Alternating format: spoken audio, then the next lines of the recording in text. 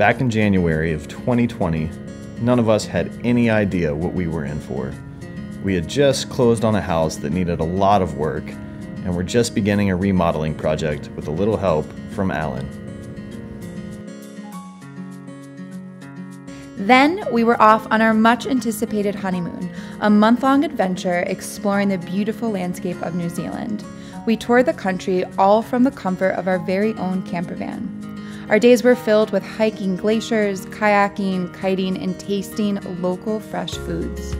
After soaking in the beautiful countryside, we headed north to Raglan for a week of surfing with great friends. And it's there that we decided to share our exciting news. We are expecting a new addition to our family. When we returned home, things were a little different. There was a pandemic, and we had no idea how the year would unfold. We finished the remodel project and added a super fun bathhouse with an outdoor tub and tried to enjoy ourselves as much as possible during a year of quarantines and social distancing.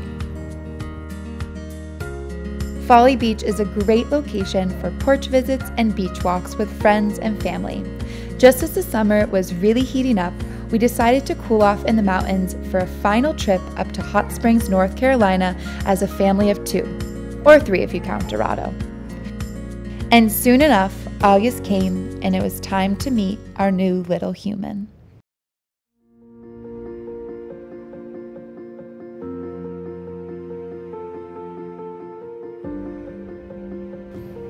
The most exciting and beautiful day in our lives led to incredible amounts of joy as we got to know our new little friend, Sage Ocean Lassiter.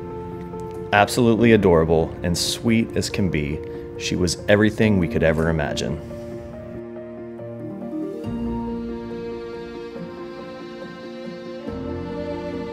That's when the fun really began life with a baby. Suddenly, we had a new little companion for every activity and adventure, and life became that much sweeter.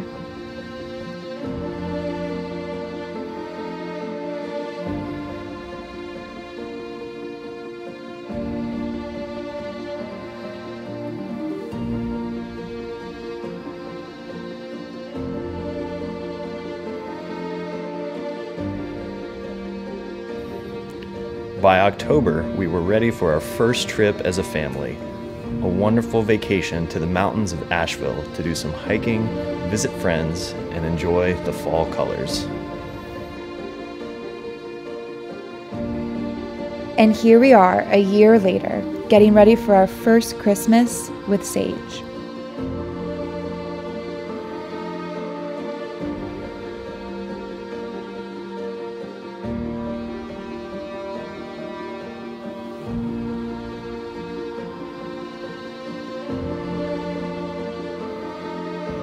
We are so blessed to have such wonderful family and friends to enjoy this special year and our time on earth here together.